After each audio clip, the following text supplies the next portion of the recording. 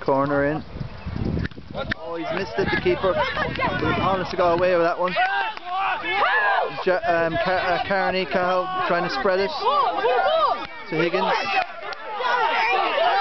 To Christoph.